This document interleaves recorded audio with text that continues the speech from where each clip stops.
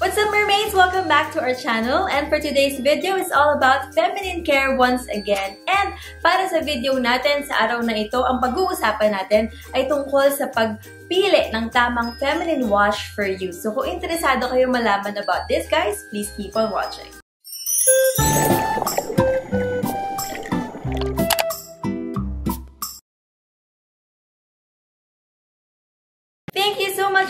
My mermaids, for staying with me. So, ayan, diretso na tayo sa ating video. Sa totoo lang, mermaids, hindi lang naman yung question of choosing the right product, choosing the right feminine wash for you ang dapat nating pag-usapan. Unang-una, yung paggamit ng feminine wash sa ating private part should be used with caution. Kasi nga, very sensitive yan, guys. Eh. Kapag excessive yung gamit natin, pwedeng masira yung pH balance ng ating private part down there and mag-cause ng mga infection, ganyan, madidisrupt siya sa pagkakaroon ng mga irritation. Of course, guys, meron akong personal preference na mga feminine wash na ginagamit ko. Pero, sa tinagal-tagal kong gumamit ng mga gantong produkto, I actually rounded up to two products na pwede kong ma-recommend sa inyo. Pero bago ko ipakita yun, guys, um, ano nga ba yung mga dapat nating hanapin kapag pumipili tayo ng product or feminine wash para sa atin, guys? Mayroong mga key ingredients na dapat tayong hanapin. Unang-una, lactic acid. Lactic acid is um, some kind of milk na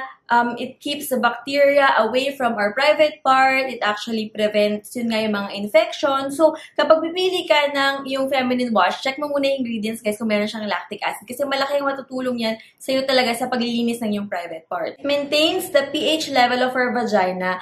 Also, it maintains the acidic environment around our vagina that actually um, doesn't allow any bacteria to grow. Isa pang ingredient na dapat nating hinahanap sa ating mga feminine wash is glycerin. So, glycerin attracts moisture to our skin. So, kung meron kang vaginal dryness, itching, maganda yung mga feminine wash na meron glycerin kasi it keeps our vagina hydrated and moisturized. Third ingredient, sodium lauryl sulfate naman, guys. It actually prevents bacteria and dirt coming near our vagina. So, uh, maganda para siyang ano, para siyang gladiator ng ating vagina, parang ganon. So, walang makakalapit na bacteria and dumi kapag meron yung ingredient na yan. Imagine niyo yung ating vagina yung Colosseum, tapos yung sodium lauryl sulfate, yung mga gladiator. So, pag mayroong mga gustong pumasok dun sa kingdom, na mga bacteria, mga dirt, sila yung mga lumalaban. Imagine nyo may espada, gano'n. So, nilalabanan nila yan at hindi sila makakapasok. So, safe na safe ang ating Colosseum slash vagina. So, ayun nga, mermaids, yun lang yung mga quick tips ko sa pagpili ng ingredients, yung top 3 ingredients that we should look for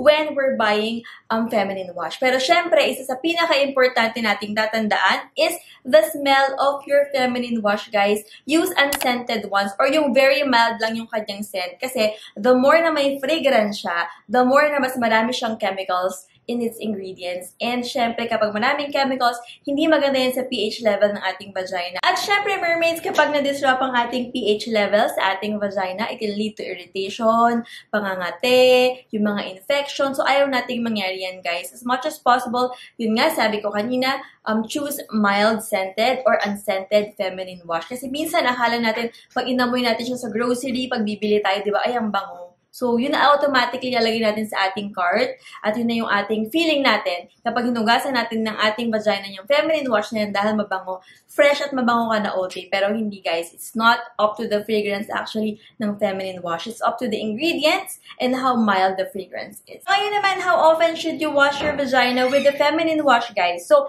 ako personally, twice a day. So, in the morning or after maligo, before ako lumabas ng bahay, or do some errands, go to school or work, ganyan. Or kahit wala lang gagawin, nasa bahay lang ako, pagkatapos kong maligo, I will use my feminine wash. And then, yun nga, kapag magpipi ako, in the middle of the day, I just wipe it with tissue. Make sure to pat it dry. Make sure na hindi siya maiiwang, uh, may maiiwang basa dahil kapag yun nga, kapag excessive yung moisture sa ating vagina, it attracts more bacteria. So, ayun. And make sure to wipe your vagina from front to back para maiwasan natin mga infection like UTI. Kasi, syempre, di ba, malapit yung ating vaginal hole sa ating anal hole. So, ayun nga guys, pwedeng malagyan ng bacteria yung ating um, vagina. That's why it can cause you know, mga infection. So make sure to remember that when you're wiping your vagina with tissue or wet tissue front to back para maiwasan ng mga infection. And then at night, before I go to bed, I also wash my vagina with feminine wash. So yun, twice a day. And I'm proud to say, wala naman akong na-experience ng mga irritation, mga infection, because I take care of my private part very well actually guys. Very, ano kasi ako eh, yung OC ako pagdating sa mga bagay na yan. So, ayun nga, it's the time of the video where I will show you my two favorite feminine wash that I use. Yung isa dito na recommend ng aking OBGYN, it's the brand Lactacid. So, ayan, Lactacid Odor Block 24-Hour Protection. So, ayan, favorite variant ko yan from this brand. And this has milk extract. So, meron siyang lactic acid. And it's also made from plant extract. So, hindi siya more on chemicals. That's why I love it. And the smell of this feminine wash is so mild. Actually, ito yung binao namin ni Zing when we went to Europe. Nilagay namin sa maliliit na bottles. Pinagkasya namin for three weeks na nandun kami. Kasi it really keeps you fresh all day. Yun yung mahalaga sa akin sa mga feminine wash dahil active nga yung lifestyle namin. Like, kung saan kami na pupunta ni Zing and marami kaming mga meetings and errands, ganun. I need a feminine wash that will keep me feel fresh all day. Kasi di ba parang medyo hindi maganda sa pakiramdam na parang feeling mo mabantot na yung area mo doon, di ba? So, pipili ka ng feminine wash na kahit naihi ka ng ihi, ganyan, buong araw ka nang nasa labas, feeling fresh pa rin yung ating private part. And this one does the job. Actually, ito rin yung brand na recommend sa akin ng aking OBGYN, si Dr. Javier. So, sa kanya ako nagpapacheck ng aking private part. Lactacid daw yung pinakamagandang gamitin natin na feminine wash. Ayan guys, if you haven't tried um, Lactacid yet, it's time for you to try it. Baka maging hiyang din siya sa inyo. And Yeah, try this one guys, yung odor block ng Lactacid. Ang ganda talaga niya. Before yung ginagamit namin is yung, ano eh, yung minodal ni Ann Curtis, yung kulay yellow. Ano nga ba yung ano nun, babe? I forgot the, I forgot the name of the variant. Pero color yellow yung parang flowers-flowers niya. But it's not, parang I think hindi na siya makita sa grocery ngayon pag hinahanap namin. The next product naman, na favorite kong ginagamit guys, is this one. Yung Sion Feminine Wash from New Skin.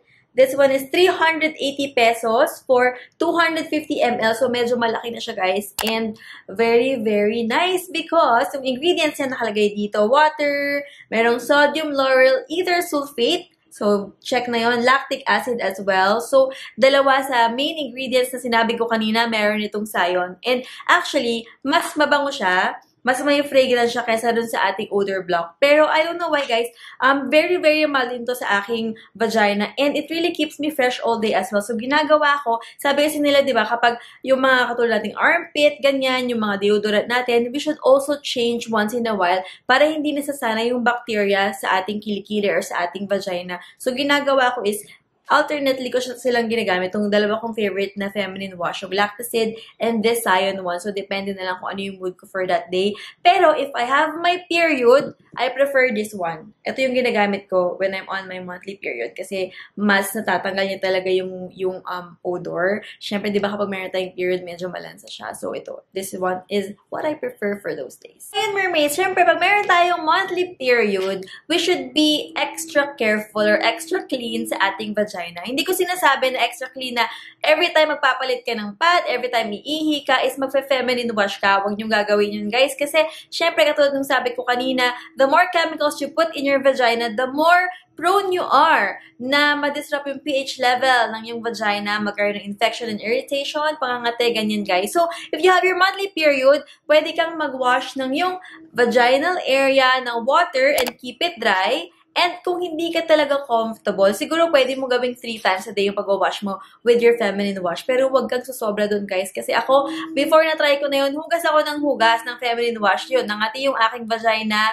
and namula siya because yun nga, syempre, excessive chemicals. That's it, mermaid. Sana meron akong naibahagi sa inyo. Again, may natutunan na naman tayo sa ating feminine care video for today. Please drop your questions and comments down below. I love reading all of your comments and I really try my best na masagot yung mga tanong ninyo by doing a video like this. Alam ko naman marami talaga sa atin guys ang may problema sa ating vaginal part, tamang pag-shave, um, ganito yung kulay ng ating discharge, ganun. Marami ako nababasa at mini-message nyo rin ako directly through my social media handles. And I assure you guys na kapag meron talaga akong time, I read all of those and I try my best to help you out. So, please just drop your comments down below. I'll try to read them and answer them one by one. And also do a video if I can kung meron ako nakalap na information about that. So, ayun guys, um, taking care of our vagina is very, very important. Especially kasi syempre, very close sa atin yan. And konting mga tilang yan, meron lang discharge na hindi natin gusto yung amoy or hindi natin gusto yung kulay. Medyo nag-worry na tayo guys. But this is one advice that I always say every time I do videos like this, kung meron ka na talagang mga hindi mo ma-explain na nangyayari sa iyong vaginal part, like sobrang katina niya, and merong discharge na hindi mo gusto, please go to a doctor, especially an OBGYN, kasi sila talaga yung makakapagsabi sa inyo kung ano ang dapat mong gawin sa mga problemang yan, guys. Kasi yung mga home remedies na yan, we can only do it for like a few days at pag hindi pa rin talaga siya gumana, you should see your doctor kasi pwedeng lumalayan, guys. And pag mas malala, mas mahirap i-treat. So, always be maalap when it comes to your feminine care. That concludes our video for today, mermaids. And as always, thank you so much for watching. And I love you all and God bless. Bye.